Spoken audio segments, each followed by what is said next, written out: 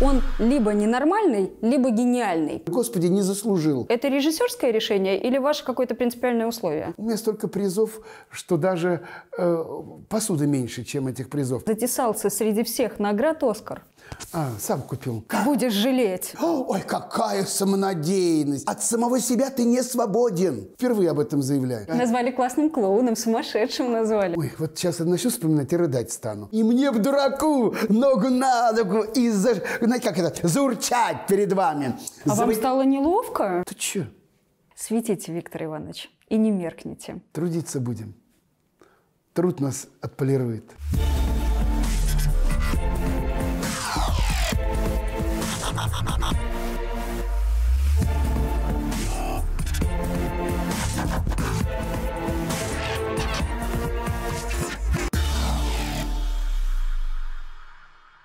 Глядя на нашего героя, один выдающийся режиссер сказал, он либо ненормальный, либо гениальный. Вообще вся жизнь этого человека подобна чуду. Буквально с пеленок он мечтал быть артистом, но стал поистине известен только после 40. Вся его линия жизни поделена на три отрезка, и в одном из них неминуемая гибель обернулась возрождением. Рядом со мной народный артист России, гениальный актер Виктор Сухоруков. Виктор, здравствуйте и спасибо вам большое за эту встречу. Спасибо и вам. Здравствуйте. Когда-то давно, в 2000-х, где-то в начале, вы сказали журналисту, что вам бы очень хотелось, и вы мечтаете о том, чтобы стать достоянием республики, попасть в историю да, и оставить после себя информацию. Хорошее, громкое, амбициозное заявление. Вот и все. Это скромные амбиции. Э, Сегодня берут другим. Бузовщиной. У нас Бузовщины не было. У нас было что-то другое. И, конечно, я это заявлял иронично, вертляво, шутовски.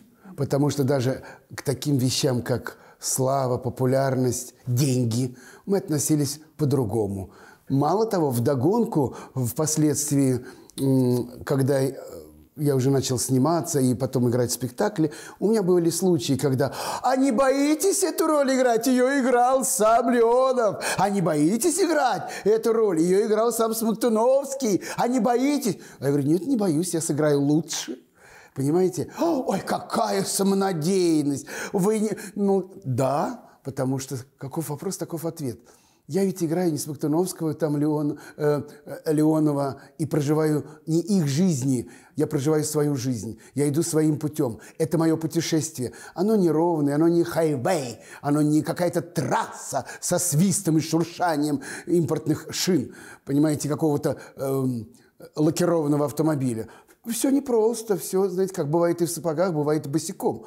Э, Идешь по жизни и спотыкаешься, и окровавливаешься, и э, размазываешь сопли по розовым щекам. Всякое бывает, но наступает какой-то момент или какие-то мгновения жизни бывают, когда ты думаешь, а кто ты есть? А зачем ты? А чего ты хочешь? Я-то знаю, что я хочу. Только, оказывается, мои желания зависят от других. И тогда говорят, я свободен. Да никто не свободен. Но только мы не свободны не от власти. Мы не свободны от самих себя. От самого себя ты не свободен.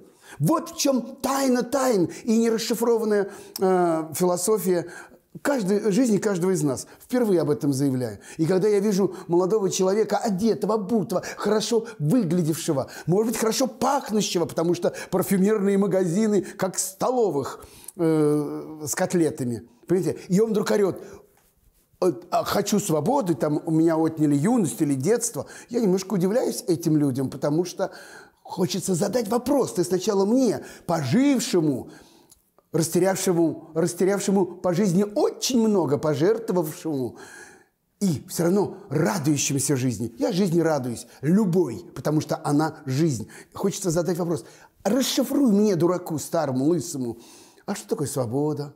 А что такое самодостаточность? Что такое целеустремленность? Что такое твои желания? Вот и все. Нет ответа. Есть какие-то невнятицы, э, мычания и неграмотность. А сегодняшнему Виктору Ивановичу какие воспоминания о себе после себя хотелось бы оставить? Благодарность. Тот поход людей, которые еще будут меня помнить, чтобы они говорили, был Витька Сухоруков, был Витюшка, был Виктор Сух... Иванович. Ой, вы, вы не застали Сухорукова, а вот я была знакома с Сухоруковым, а я видел Сухорукова. И мне кажется опять, я тебя фантазирую, первый раз тоже говорю, наверное, после смерти восхищение, благодарности и комплименты будут звучать честнее, чем при жизни. Почему-то мы э, одни комплексуют от высокопарных слов. И когда вы представляли Сухорукова, сказали «гениальный артист», и мне в дураку ногу на ногу и, за, знаете, как это, заурчать перед вами. А За... вам стало неловко? А, а я что-то стеснялся.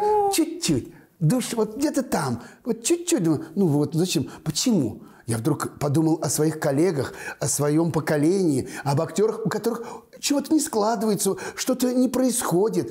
А мы были рядом. Мы пили вместе, ходили вместе, э, разбегались, сходились. И вдруг я ушел, а многие остались.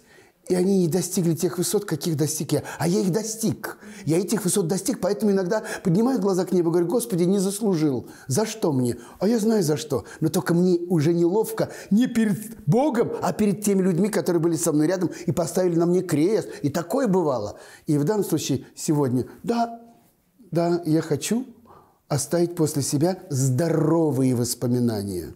Хочется сегодня, мне сегодня вот э, в ясном уме и трезвой памяти заявлять, что хочу жить и работать с пользой. Какое-то знание, пусть чуть-чуть, но знание входило в людей после общения со мной. Не знаю, тоже, наверное, это возрастное. Виктор Иванович, если посмотреть на вашу афишу на два месяца вперед, да, вы одновременно сейчас задействованы как минимум в пяти спектаклях. Сейчас перечисляем вместе, да? Старший сын, царство отца шесть, и сын. Шесть. Шесть, шесть даже. А, а что шестой, интересно? РРР, улыбнись нам, Господи, и встречайте, мы уходим. Шестой какой? Царство отца и сына, римская комедия. Римскую комедию забыла. Я поняла. А, ни в одной из этих постановок был у вас... Тар... Был еще Тартюф на Малой Бронной. Я уже год как не играю. Так это год не играете, а в ближайшие месяцы мы перечисляли спектакли. А, да, это... И у вас нет второго состава Нигде. ни в одной из постановок. Это режиссерское решение или ваше какое-то принципиальное условие? Ну, это вы режиссеров вы спросите, но, по крайней мере, открою секрет. Совсем недавно ходил к руководству одного театра. Я служу в театре Моссовета, а «Улыбнись нам, Господи» – это спектакль театра имени Вильгельма Махтангова. А старший сын – это э, театральное товарищество «Свободная сцена», театральное агентство. Ну, и она называется антреприза. А так слово антреприза, оно немножечко опошлено, испохаблено, испорчено и звучит немножечко не очень правильно, то я э, отрезал половинку и называю вантре. Я играю в антре. Старший сын вот, грандиозным успехом пользуется спектаклем. Недавно были на гастролях турне по Германии с юга на север, пять городов. Ой, ой, как принимали, как принимали. Как думаете, в чем успех? Э, я думаю, в честности.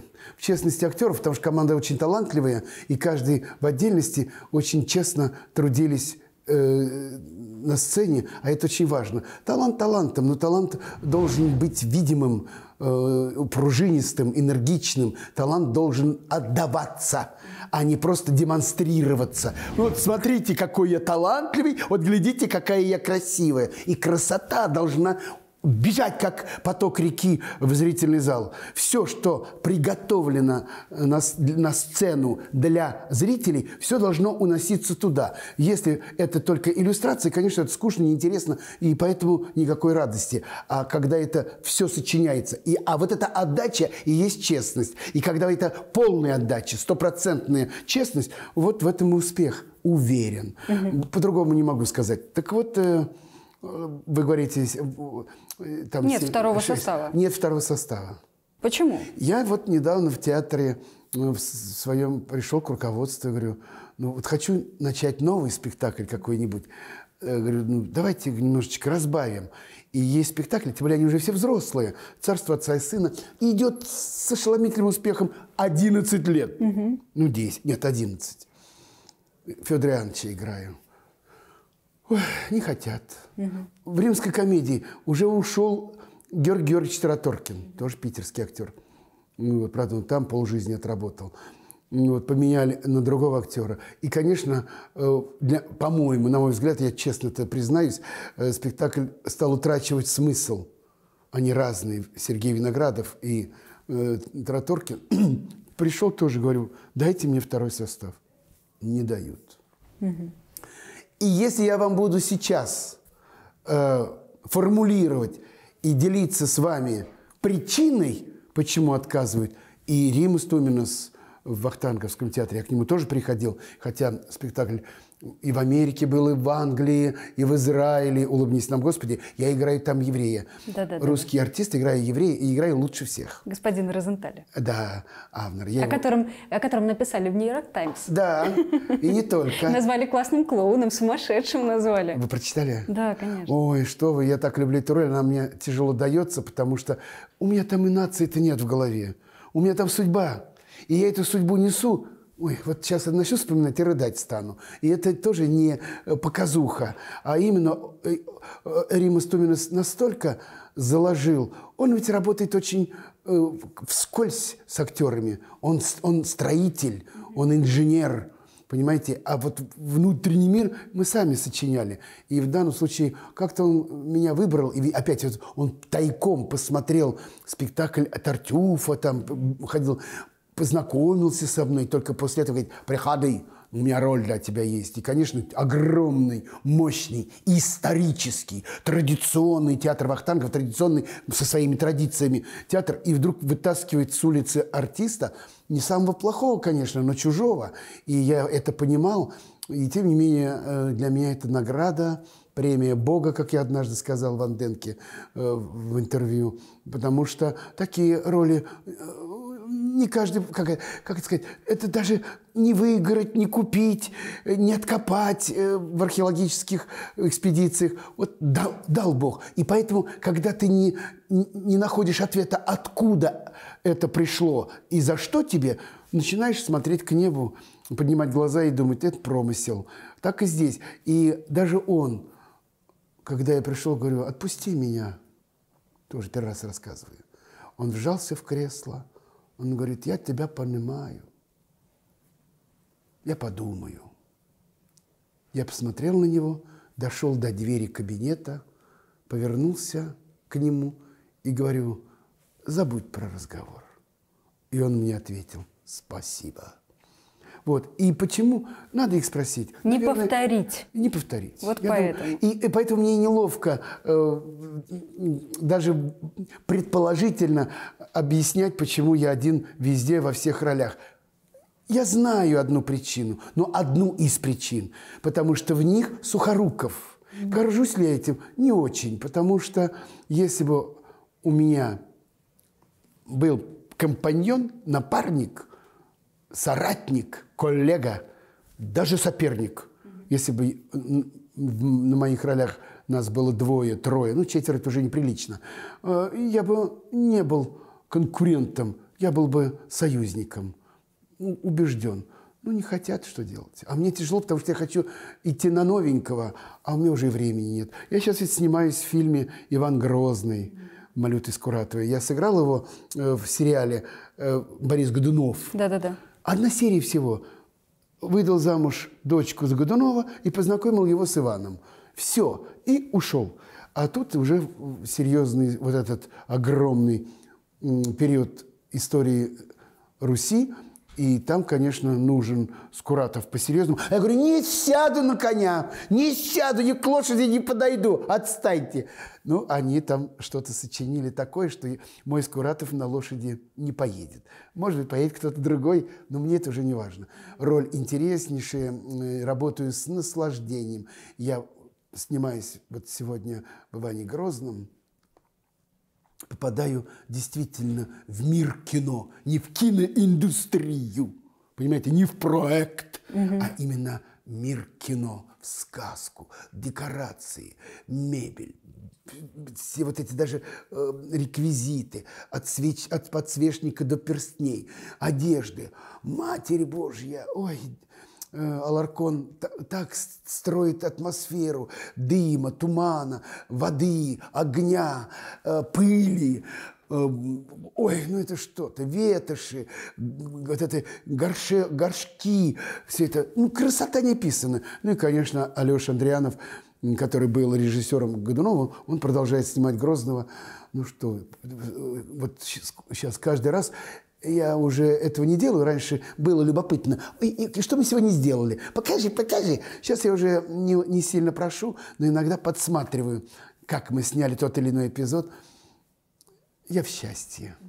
И вот этого счастья сегодня маловато. Может быть, потому Хочется что... больше сниматься? Нет, нет, потребность всегда есть, потому что это труд, это работа, да тем более она меня уже как бы приковала к себе. Но я был избалован в 90-х.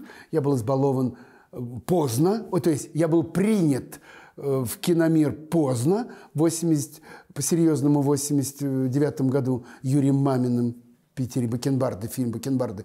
Но потом, в 90-е годы, конечно, я был избалован и режиссерами, и ролями, и количеством, в конце концов, и наградами. У меня столько призов, что даже э, посуды меньше, чем этих призов. Они у меня все на виду, я их не прячу. Они у меня дома, они в офисах, потому что у меня нету ни агентов, никаких директоров, у меня ни, ни водителей, у меня ничего этого нету. Я хочу быть простым смертным, но только со званием народный артист и с любовью народа. Вот и все. Но вот идет одинокий человек по тротуару, а он народный артист, любимец народа. Но я одинокий человечек, который э, живу и хожу, дышу среди всех остальных. А вот расскажите-ка, пожалуйста, как у народного артиста России затесался среди всех наград «Оскар»? А, сам купил на бульваре, где кинотеатр «Кодек», где проходит церемония. Я был в Лос-Анджелесе э, с делегацией Стаса Намина в свое время. Ну и как, надо посмотреть, где эти звезды в тротуары втюханы, где ходят э, мировые звезды, заходят э, в кинотеатр «Кодек». А там на обратной стороне улицы Ларечки, ларечки, ларечки, ларечки, как мы тоже в 90-х годах в Москве. Э, вот эти все киоски, киоски, киоски. И там продают, естественно, сувенирную продукцию. И Оскаров немерено. Ничего делать не надо, только были бы деньги. Ну и взял и купил. А за, за что себе вручил? Как? За то, что я есть. Там придумать можно. Я даже написал не за что-то. Я мальчика говорю, выгравируй мне. И у меня Оскар стоит. The best actor – Виктор Сухоруков. Вот и все, лучший актер. А уж актер чего? Это не важно. Электрички, вокзала, э, общественного туалета, э, театра, не важно. Актер жизни, мира своей профессии. Ну вот скажите, голливудские актеры, они ведь все э, со сцены признаются э, в том, что в детстве они себе это представляли, очень четко видели, репетировали эту речь в микрофон, в фен, куда угодно, в шампунь буквально, да? С вами что-то подобное было? Вы поклонно репетировали? Никогда. Я и с вами-то разговариваю вы же видите, импровизационно. Я никогда ни к чему не готовлюсь. Я готовлюсь к действию, а не к слову. Я слово не сочиняю. И то, когда мне вручали Первый раз в жизни за роль Павла, которую, которого я сыграл в Ленинграде у Виталия Мельникова, бедный-бедный Павел.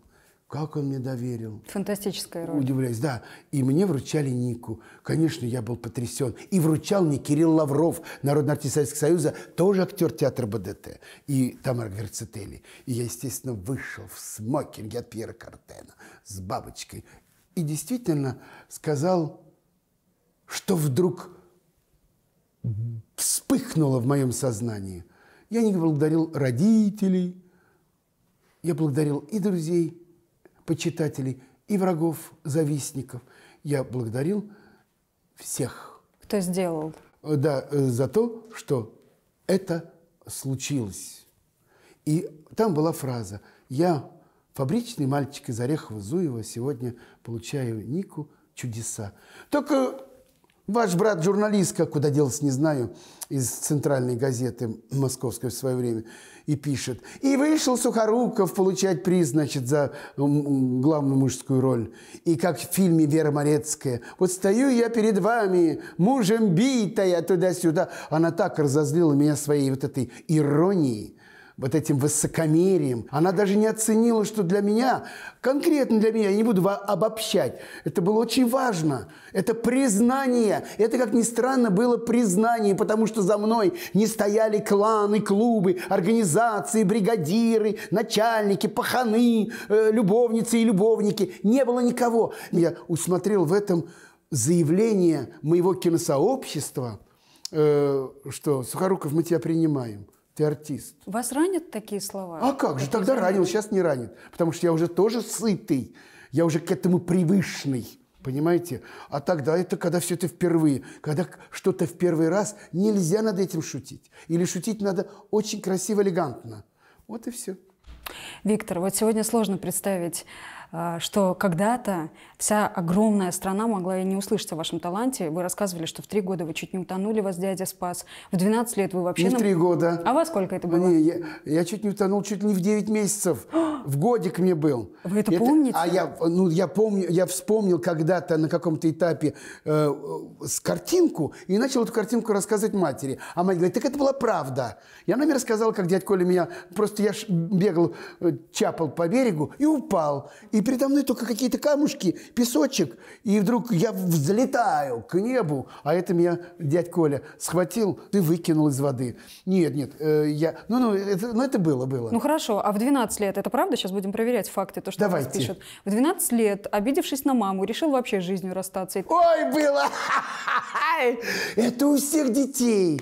Вот наступает период у ребенка, поверьте мне. Правда, тогда не было вот этих iPad, ну, телефонных, вот этой всей машинерии, не было вот этой цивилизации технологий, когда вот это да, все. Да, да, да. Интернета, ничего же этого не было. Телевизор-то были э, один на 10 семей, а может и на 20 в той, в той жизни.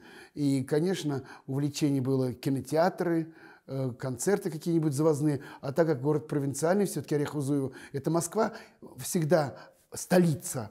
А мы-то жили очень скромно в плане культуры, просвещения, э, развлечений и так далее. И, конечно, может быть, э, там ребенок растет и видит мир совсем по-другому, чем сегодня они его наблюдают, нынешнее поколение 12-летних. И тогда я понимал, и сегодня как бы сделал вывод, наступает у ребенка период, когда он думает, что он единственный в этом мире, что его должны любить все. И если его ранит все, он очень чувствителен, чувств, а, а, пульсирует на все, что его обжигает, не устраивает, не удовлетворяет, обижает, оскорбляет, унижает.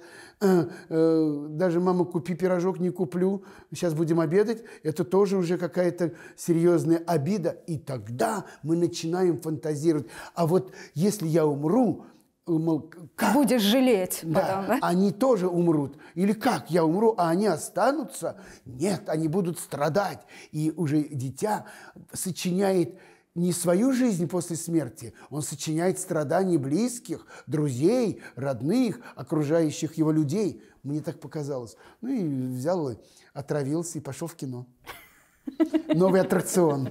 А потом сижу в зале и не могу понять, что со мной. Ну, только отравился, хотел уйти из жизни. А пацаны говорят, пойдем в кино. И мы пошли в кино, сели, а я не могу понять, что у меня колонит. Спать хочу, в глазах темно. А потом я думаю, ё-моё, я же таблетки проглотил. Так, а потом признались маме? Ну, конечно, это все это было сразу ясно. А я говорю, ой, э, пацаны, я, я пойду, я говорю, я не могу, я спать хочу. Я говорю, что, да я с дуру тетя Зои таблетки взял. А, дроже, там две дроже выпил.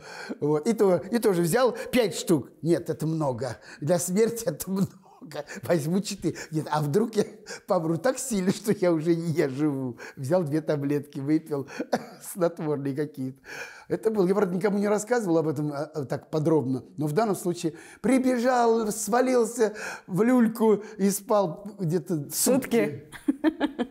Ну, это хорошо, что мы сегодня можем со смехом об этом рассказывать, но при всех нынешних возможностях, да, ситуация это не меняется. Подростки и сегодня очень романтизируют на тему депрессии, на тему смерти. Как вы думаете, а их вообще вот как можно защитить сегодня от вот таких необдуманных ошибок молодости? Это мы называем их ошибками. А для них это не ошибки. Для них, для юного поколения. Вот в чем и есть разница, как говорят, проблема отцов и детей. Со времен мира древнего всегда были проблемы взрослых и юных. Во веки веков это будет всегда. Другое дело.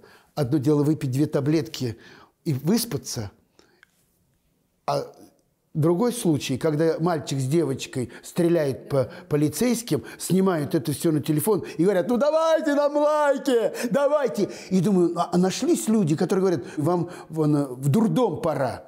А другие вообще говорить об этом не должны. А были выломать, должны были выломать двери, схватить их за шкирку и пендаля в сумасшедший дом. И лечить а другого нет, потому что это уже не юность, не детство, это не познание мира, это безумие. И оно, а это вот, ну, последний случай-то, ну, это ей 29 лет сказали, девчонки-то, двое детей, учиняет день рождения. И все, ведь она снимает на эту. Я не могу понять.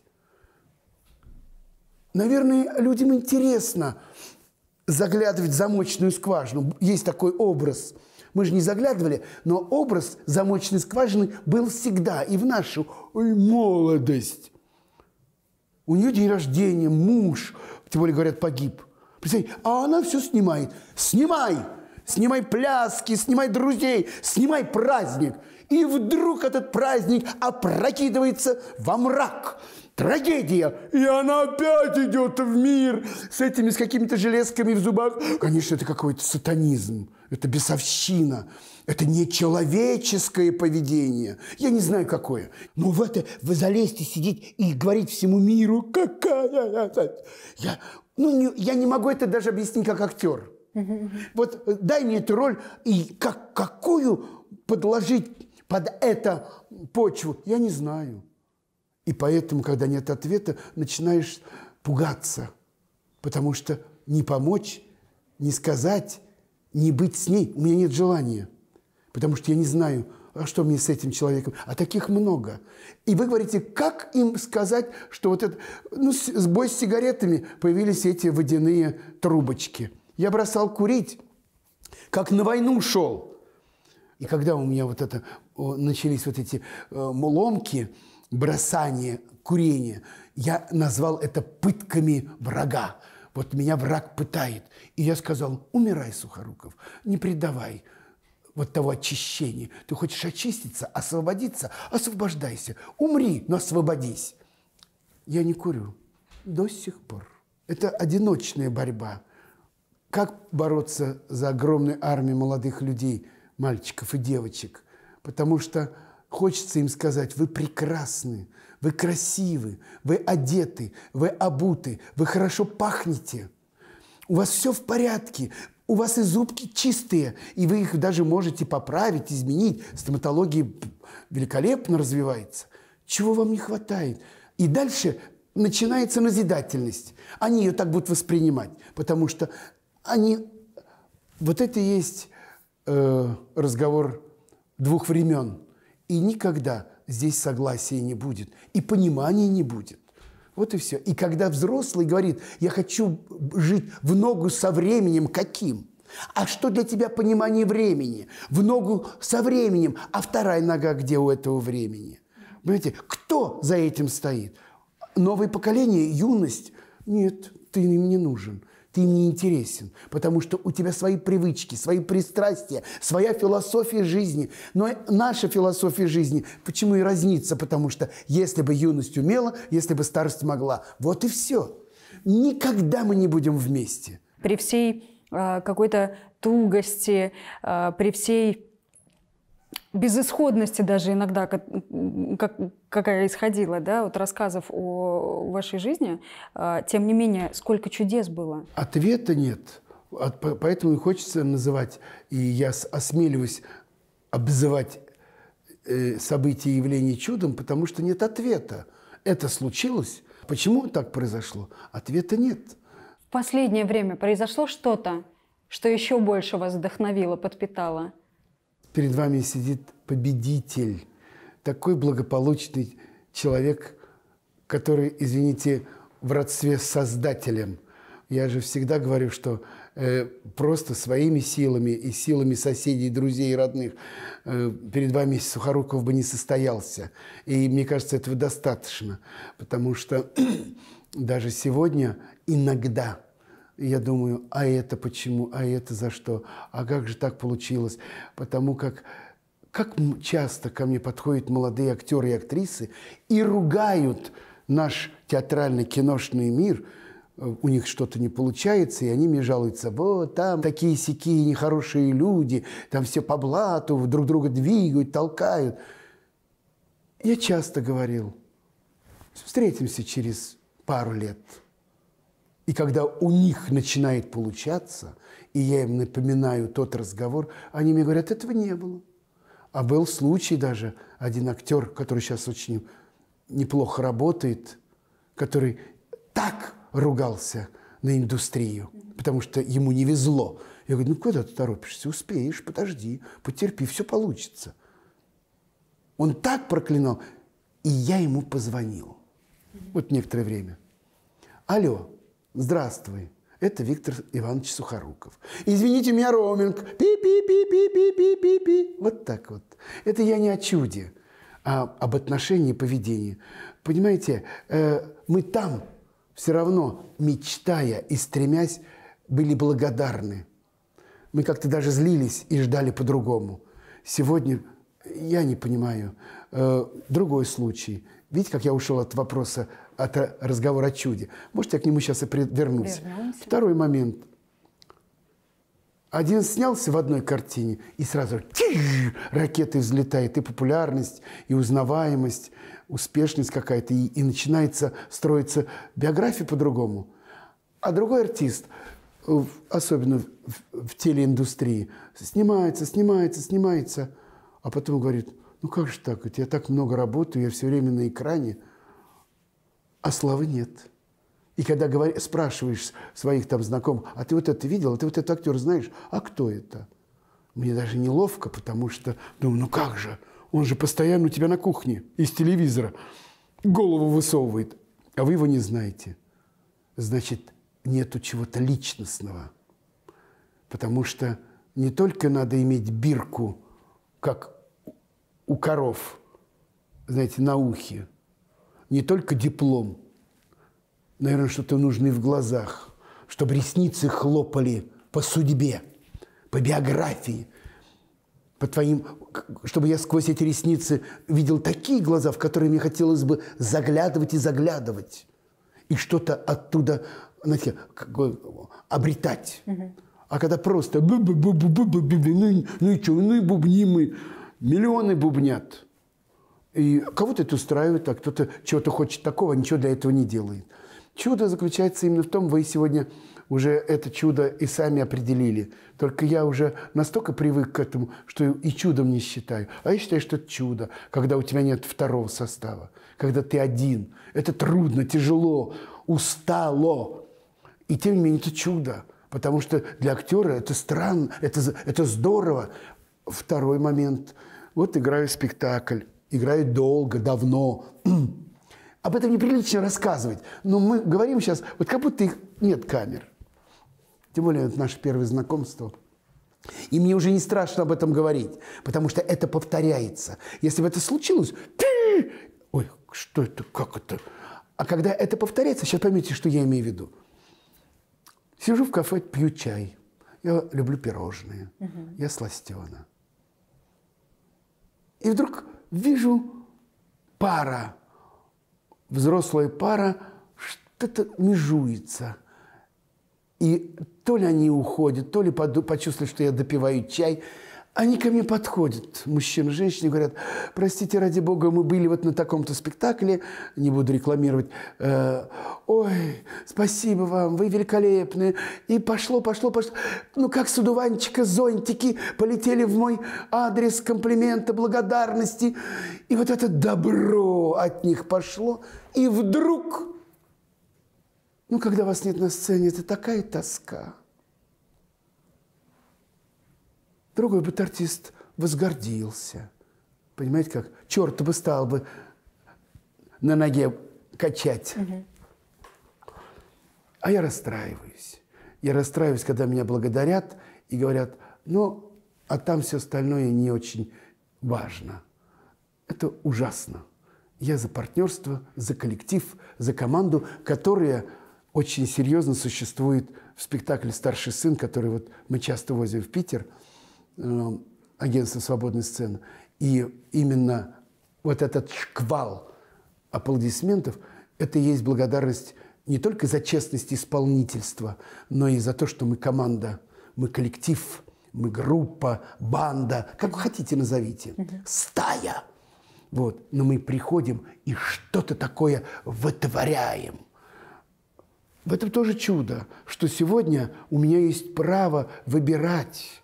Это чудо, что у меня есть сегодня возможность э, встречаться с вами – ну вы же, вон, легион нашего брата, но вы же позвали Сухорукова.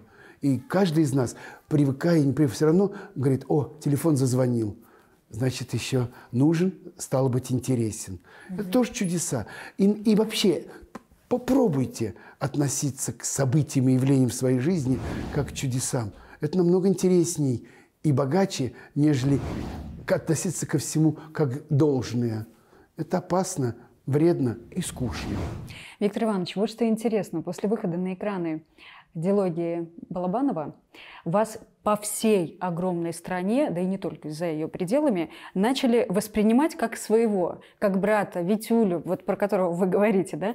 Но давая интервью не так давно, вы отметили, что вы сами по-настоящему себя своим ощущаете в Иерусалиме. Меня узнают во многих странах что удивительно. Значит, кино наше смотрят. Угу. У меня был уникальный случай, когда я зашел в магазин, мужской магазин одежды, и два чернокожих продавца. Where from? Я говорю, from Russia. Oh. А, мы не знаем, мы так кино знаем, там, брат, два. Я говорю, я там снимался. Чего иди отсюда, бля? И они не поверили. Но на следующий день, когда я шел по той же улице, они увидели меня в витрине магазина, что я иду, выскочили на улицу, вот не вру, затащили в магазин и за 100 евро продали мне 5 брюк. Понимаете, фирменных, хороших. И кричали. Оказывается, они проверили, посмотрели, поняли, что я не наврал. То есть много было любопытного. Или Венеция, остров Мурано, там муранское стекло. И я приплыл на этот остров, иду по тропинке, и вдруг сзади Гитлер! орет. Я поворачиваюсь, молодой парень. А он сам то ли Словении, Словакии или Сербии, не помню, э, на ломаном русском языке. Он в кафе увидел меня в витрине кафе, выскочил на улицу, добежал. Там какая-то еще такая авангардная конструкция, скульптура. Ну вот. И он говорит, я знаю. И начал мне говорить какие-то э, слова по поводу фильма «Брат».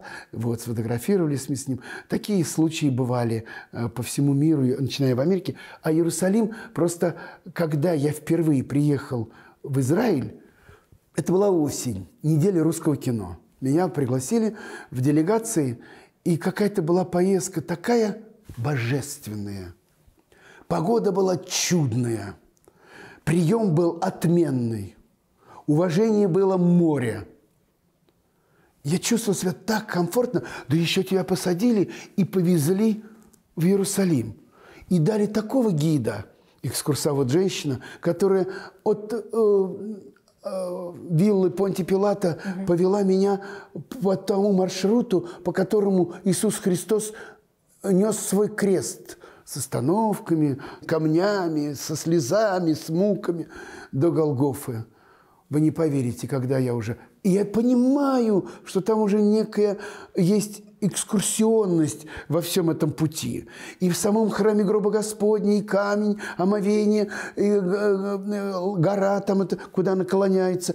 Немножко в этом есть символизм. Все, может быть, уже сдвинулось, и все это в других местах. Но вера, важна вера.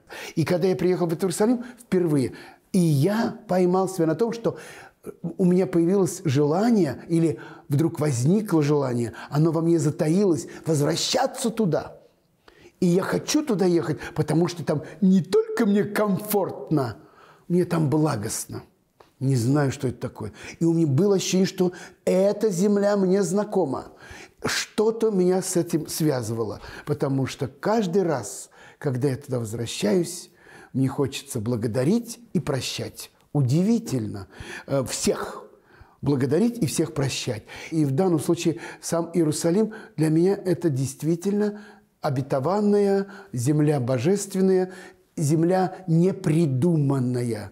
И я все принимаю на веру и говорю, верьте, и будет вам счастье, потому что так оно и есть. И вот, когда первый раз я приехал, ну, вы не поверите, ну, я туда полез, э, где гора Голгофа тогда, mm-hmm. прикоснулся.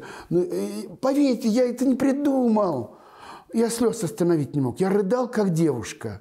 У меня рекой слезы текли. Понимаете? И каждый раз, когда я прибываю, вот как будто бы ветерок по щеке похлопал «Здравствуй». Вот как будто кто-то толкнул тебя каким-то теплом, каким-то солнцем, каким-то деревом. Повернешься – пейзаж. Назад там картина. Все время какая-то интересная жизнь, очень живописная – само понимание того, что мы все братья вот по вере. Родные, ну как бы родные, родные люди, да. Вам помогает это оставлять обиды вот тем, кто проклинает, злословит о вас, клевещет без конца, да, и воспринимать его как брата, молиться за него, за его счастье также? Не помогает. Не помогает. Трудно. Это работа. Это такая борьба с самим собой, чтобы э, следовать заповедям. Это огромный труд. А мы не хотим трудиться, нам некогда. Не потому что не хотим, а нам некогда. Мы помним, мы знаем, мы понимаем, мы согласны. Почему не исполняем? Трудно, тяжело. Почему? Потому что я тот же родственник. Если вы мне сестра, то я вам брат. И то, что есть в вас, что меня не устраивает, и я во мне тоже есть. Вот в чем парадокс. Мы все в братстве и в, это, в этом родстве, мы все э, едины. Мы едины не только в любви, но и в беде, в преступности, в порочности. Нету человека, э, который кристаллин или чист, как младенец. Уж извините, даже младенец иногда рождается с родимым пятном, с бородавками, с какими-то патологиями. Но ведь это же не просто какая-то природная физиология, нарушение физиологии. Нет, это тоже некие сигналы и знаки. Можно и так относиться. Угу. Вот и все. Поэтому э, прощать. Трудно прощать. У меня ведь тоже есть и на этот счет отмазка. Скажу.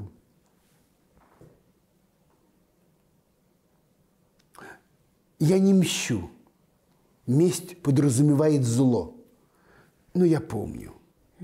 Я могу быть после наших каких-то сложных отношений с вами быть благосклонным, благодарным, улыбчивым.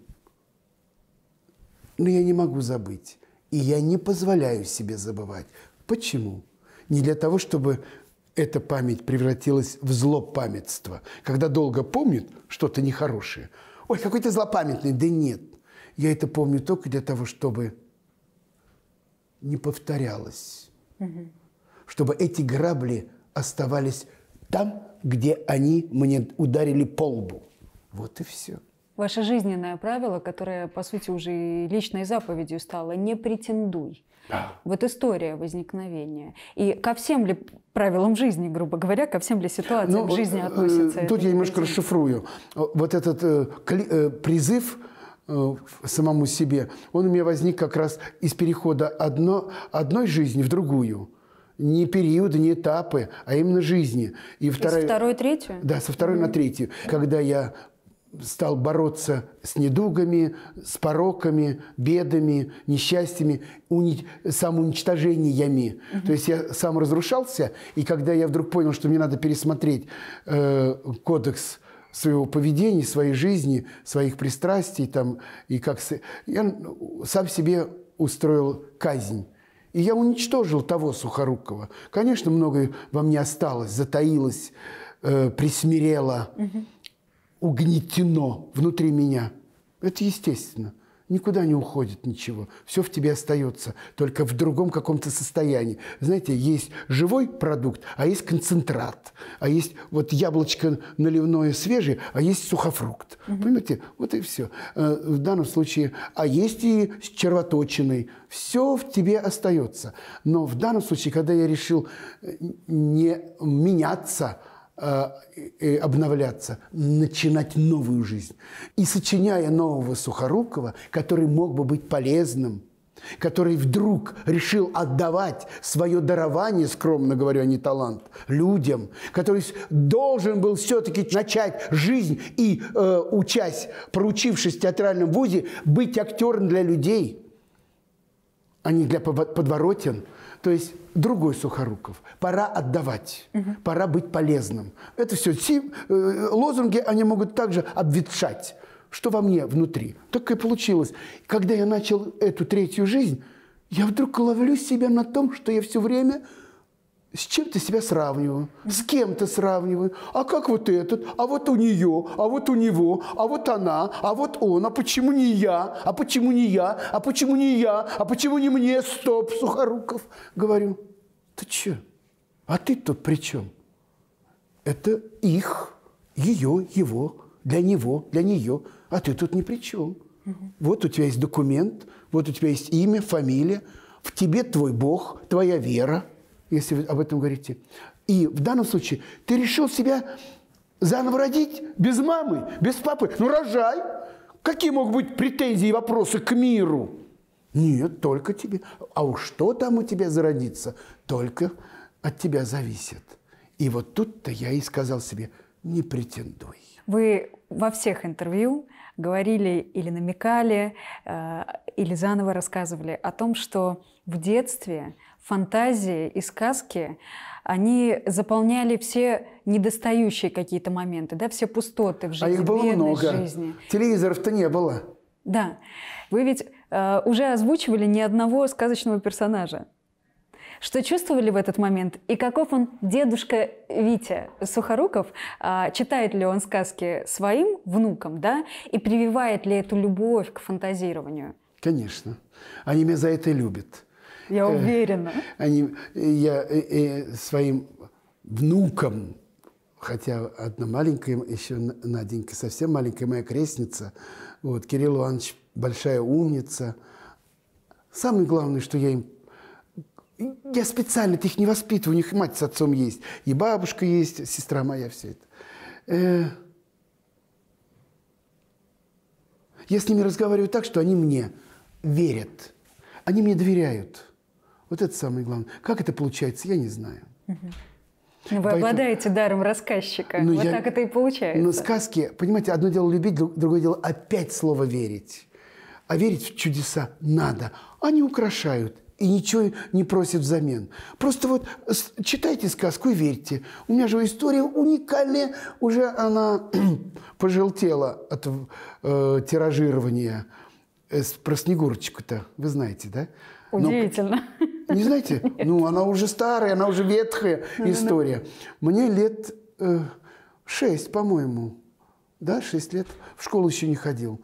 И мне рассказали сказку «Снегурочка». Когда бабка с дедкой слепили Снегурочку, детей у них не было. Да, и я зимой мы жили на первом этаже. Вылепил из снега. Я вылепил, да, Снегурочку. У матери бусы порвал, глазки сделал, губы накрасил. Залез на подоконник и давай подсматривать, как она будет оживать. Я ей говорю, детка, ты с бабкой не заметили, как она жила? А, а я-то, говорю, хитрый, я сейчас подсмотрю. Ну и уснул на подоконнике. Проснулся уже у себя в постели. Быстро к окну подбегаю, а там оттепель, мама дорогая. Я очень расстраивался, но веры не утратил. Угу. Виктор Иванович, а, несмотря на то, что детство было непростым, но хочется от вас услышать, все-таки самое светлое воспоминание из детства – это какое? Детство. Все детство. А я не говорю, что оно было плохим. Когда я сказал, что оно было плохим? Непростым. Непростым. А, и это я уже, будучи взрослым, состоявшимся человеком, говорю, оно было трудным. Оно было прекрасным. Я любил а, э, лагеря пионерские, я любил улицу, я любил помойки, я любил убегать из дому в, там, в другой район, в кинотеатры. Я любил свою жизнь, я любил свое детство. Я его обожал. У меня картина висит. Меня один местный художник, Орех Зуевский, нарисовал мою улицу. И я вертел, крутил эту картину по квартире. А сегодня она вдруг оказалась прямо перед письменным столом. И когда я что-то читаю, пишу, а я не люблю лежа, я только сидя читаю, смотрю что-то или изучаю, сидя работаю. Я только всегда глазки поднимаю и смотрю на свою улицу детства. Потом опускаю глаза на мать с отцом. Они молодые сидят на траве в саду Барышникова. Был такой сад. А потом опять работают. Э, на самом деле счастливы те люди, с которыми вы делитесь своими стихами. И прежде чем задать вам финальный вопрос, можно я вас попрошу что-нибудь для нас прочитать? Прочту стихотворение, которое связано как раз с Родиной. «По тропинке иду, по бокам разноцвет. Вдруг возьмусь, упаду, воспоминания. Никого не веду за собой в прошлость лет. Для меня одного там – свидание. Там не знает никто, кем я буду потом. И чужое пальто носит юность моя. Посмотрите, простор вместо дома. На слом дом пошел. И как стон, лишь деревья шумят. Мать с отцом далеко-далеко. Я бы им про себя рассказал, как я был дураком, дураком, пока к небу не поднял глаза. Вот уж мчусь по годам, в промежутках сгорая. Жизнь свою не предам, ни начала, ни края. Спасибо вам за это. И не могу вас отпустить без финального вопроса. Он звучит для всех одинаково. А, жизнь удивительная штука, удивительная. И каждому из нас есть за что благодарить Бога. Я понимаю, что все наше интервью к этому, в принципе, и э, вело. Если бы можно было выбрать что-то одно, за что больше всего в жизни вы благодарны Богу? За выживание. За то, что спас. Он спас меня. Потому что наступая, у меня, особенно мне про, просто на этот вопрос отвечать легко, потому что я знаю, что он есть, и мне ничего никому объяснять, доказывать не надо. Он есть, он рядом, он везде. Как угодно, это все можно говорить. Э, покажите, это все, что... Но в данном случае э, я знаю, без него меня бы здесь давно не было. Вот и все. Э, и никому объяснять. Другое дело, на меня может и церковь обижаться, хотя я это говорил неоднократно. Религия вторична, первична вера.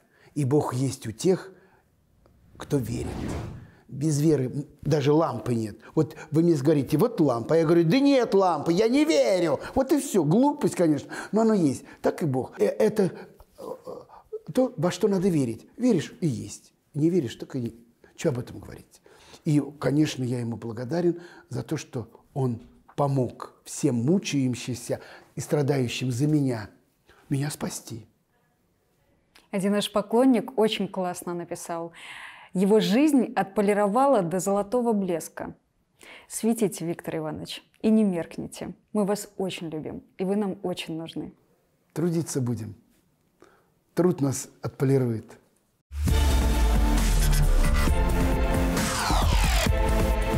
Ha ha ha ha!